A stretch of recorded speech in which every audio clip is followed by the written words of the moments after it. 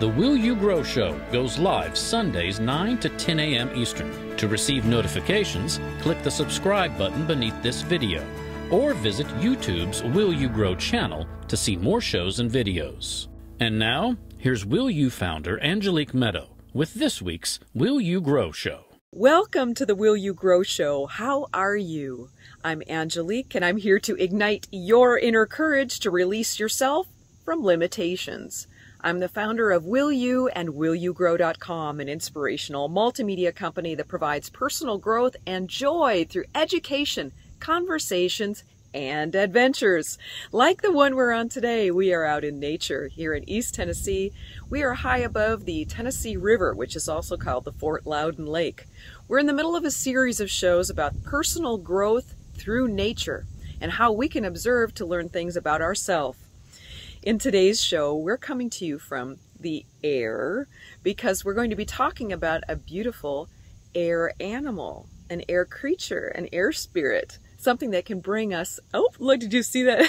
that lovely little fly who came behind us to say hello? Who is going to teach us this uh, animal spirit of the air? It's going to teach us some very special and important lessons. So, to give you a little introduction to this animal spirit, I learn a lot through nature. Nature is my best friend. Nature teaches me things just by observing what it's doing and then reflecting back on myself and saying, how does that animal or that tree or that plant's behavior reflect upon me and what can I learn from that process, which is working oh so well in nature? So I have had something that I've been working on for a very long time it's been a part of my business that I've been wanting to express and enjoy and see results from. I've been writing on a very special manuscript, which one day will come to you, but it's taken a very long time.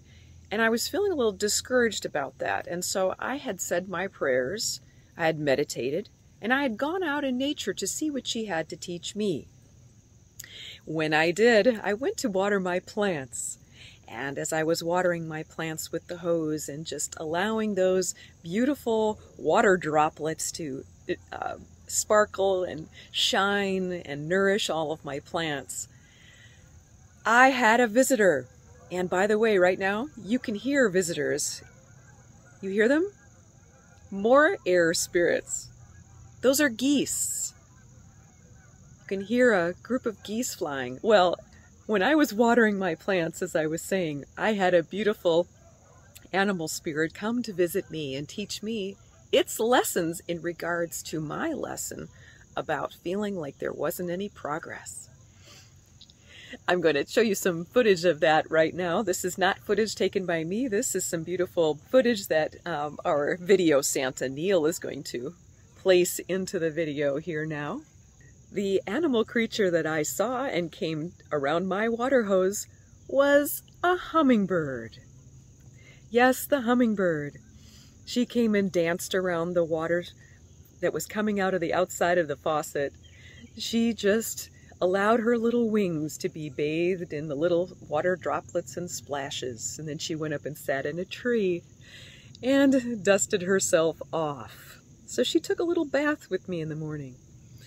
So although that water was coming out quite uh, strongly, could have hurt a little hummingbird, could have taken a, a little thing like that right down to the ground. Rather than seeing the frustration of not being able to get in the middle of the water, she just enjoyed being on the outskirts of the water. And she splashed around and got herself a bath. And that was a great message for me because although I wasn't able and haven't been able yet to ride that strong wave of the middle of the spout of water to get the second manuscript that I've done published. I am able to dance in the joy of what is around me in nature and allow that to lighten up my soul, lighten up my perspective on life. Now, that doesn't mean that I'm not respecting the fact that there's still a lot of work to do. So just because I'm taking time to enjoy something in nature or anywhere, that just provides me with balance. It's a balance. It doesn't have to be either work and stress or joy and fun stuff. It can be both. A little bit of both helps to make a balanced creative life. And that's one of the things that the hummingbird is here to teach us. There are lots of experts who can talk with us about the different metaphysical meanings of animals and plants, and one of my favorites is Ted Andrews. Ted Andrews wrote a book called Animal Speak, which is also available in the description box here today. And he is definitely an expert in metaphysics of animals, nature, plants, etc. He wrote a section in his book about the hummingbird, and I'd like to read that for you today. The hummingbird represents tireless joy and enjoying the nectar of life. Its cycle of power is in the daytime. The hummingbird may be the smallest of birds, but it is also the most fascinating. Anyone who has ever seen this tiny bird is filled with a sense of wonder and joy. Its name comes from the vibration of its wings as it flies or hovers. We've all heard of how good it is to whistle while we work, but humming is much more effective. It creates an internal massage, restoring health and balance. This the hummingbird reminds us to do. It reminds us to find joy in what we do and to sing it out loud. There are over 300 species of hummingbirds. This is very significant. In the Hebrew alphabet, the letter shin is given the numerical value of 300. This has associations with fire and relationships, the past and the future. As we will see later, this is even reflected in the wing movement of the hummingbird. It has the ability to move its wings in a figure eight pattern, a symbol for infinity, and it links to the past and future and the laws of cause and effect. Hummingbirds have long bills and tongues that enable them to extract nectar from flowers. In fact, they could not live without flowers, and many flowers could not live without the pollination provided by the hummingbirds. Again, this reflects the mysteries of cause and effect that the hummingbird can teach us so that you can extract your own nectar from life. Hummingbirds have knowledge of how to use flowers for healing. This includes their fragrance, their color, their herbal qualities as well. They can teach you how to draw the life of essence from them and create your own medicines, as the hummingbird does every day. They can also teach you how to use flowers to heal and win hearts in love. The hummingbird is the most skillful flyer of all birds. It can hover in the air. It can fly backwards, forwards, and sideways. In fact, it cannot walk. It flies everywhere. It reminds us that if we truly enjoy what we're doing, we can become as light as a feather. In life, and in our work. The hummingbird can reach high speed at its takeoff. It can also stop immediately in flight from a high speed. It is such a skillful flyer that it is not afraid of any predator. Hummingbirds have been known to chase off eagles. No other bird can fly backwards. This reflects the hummingbird's ability to explore the past and to draw from it the nectars of joy. The hummingbird can help you to find joy and sweetness in any situation. Its swiftness is always a reminder to grab joy while you can and as quickly as you can. Because of its iridescent colors, the hummingbird has been named for jewels and glittering stones. The ruby-throated hummingbird, for example. It has also come to be associated with the fairy realm. One species has been called the wood nymph hummingbird and another the purple-crowned fairy. The iridescent colors have also caused it to be associated with rain. More specifically, it is associated often with the rainbow of promise that follows the rain. To Pueblo Indians, the hummingbird's rainbow coloring, its great strength in flying, and its hovering around flowers has associated with various ritual practices. Prayer sticks and ceremonies were used to bring the rain and to help with endurance. Hummingbirds are big eaters, and most of their food is comprised of the nectars or sugars in flowers, although they will also eat tiny insects. The hummingbird may eat 50 to 60 meals a day. Because of its small size and its high degree of activity, it loses body heat quickly, so it must digest food quickly. Individuals with hummingbird totems should watch their own sugar levels. Are you getting too much or too little sugar? Are you hypoglycemic or hyperglycemic?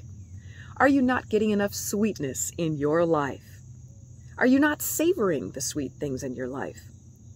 Hummingbirds are very playful. Even when bathing, they bathe often. They play in the water, like they did with me. They also seem to fight with each other, although no one seems to get hurt. Now, scientists pretty much agree that these are only mock fights to exercise and for fun.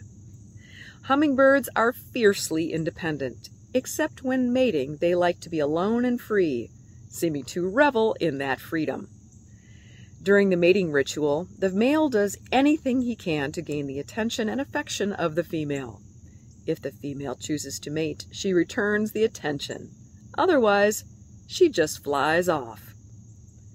Mother hummingbirds are hard workers. This is necessary, for they receive no help from their mate. She will usually lay two eggs, again, very symbolic. Two is the number of our inner self, the feminine to which we must give birth and express to find our own joy. Hummingbirds are master architects. They build their homes with great care and design. Some are very intricate, but each is unique into itself. If the hummingbird has taken up residence in you or with you, you may wish to redecorate. It may be telling you to do something to create joy in your home. Hummingbirds can also hibernate overnight. The body temperature will lower. Its feathers will ruffle up as insulation, and it will assume a state of torpidity. It will appear to have died on its perch. This is done to prevent exhausting the energy supplies necessary for it to live while allowing it to rest. For those with the hummingbird as totem, it is important to get regular and deep sleep and rest. It will be necessary so that you do not burn yourself out. The ruby-throated hummingbird is a wonder of migration. Every winter it makes an amazing journey.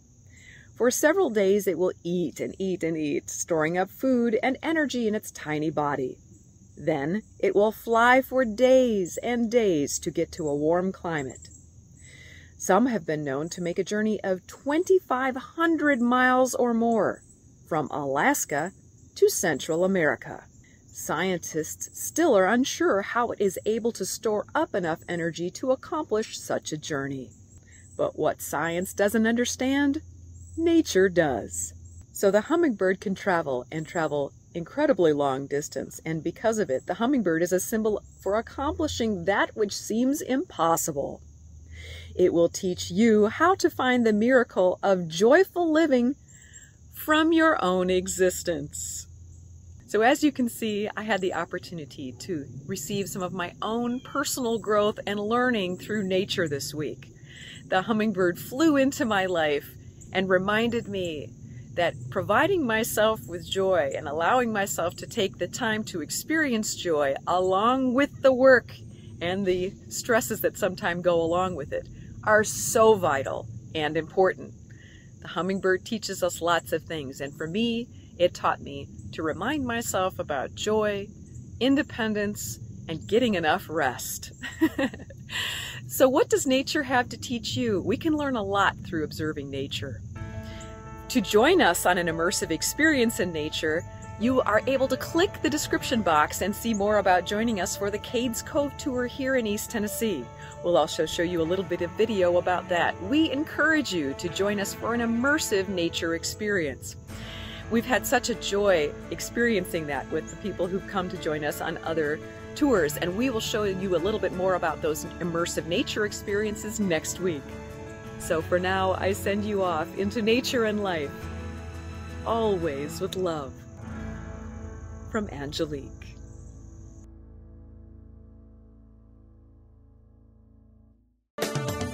What animals and insects are you observing?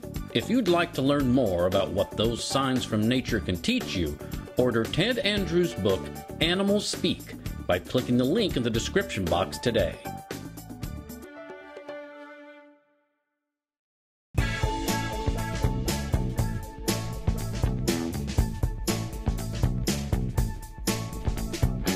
Get ready to feel revitalized and refreshed by a day hike. a waterfall, and a five star supper in the heart of the Smoky Mountains of East Tennessee. Join author, speaker, and nature enthusiast Angelique Medow as she leads Will You Love Nature Tours every third Tuesday of the month through October 2022. Feel the cool mountain breeze and the crystal clear stream. Smell the seasonal flowers and forest. Hear the rushing waterfall and watch animals in their element. Whether you're beginning to connect with yourself, nature, and life in this way, or you'd like to deepen your connection, join us to renew your heart and mind with Angelique in Nature. Learn easy tips for more peace, joy, and vibrancy. Release inner resistance and feel refreshed today. After the hike, we'll enjoy a relaxed supper on the patio of the Dancing Bear Bistro. And if you'd like to extend your experience overnight, book your own luxury cabin at Dancing Bear. These exclusive Will You Love Nature tours and dinners in the heart of the Smoky Mountains in Tennessee are now open. Book your tour now, any third Tuesday of the month through October 2022. Just click the description box, click the link for the Cades Cove tour, then book your tour, and we'll see you there. For more information about programs offered by Will You, mentoring with Angelique, and to watch video success stories from clients, explore willyougrow.com. If you or your company are interested in inspiring our mutual audience by sponsoring this or another of our programs, let's talk about it. Boost viewer confidence and trust in your company. Call 1 833 Will You, then press extension number 6.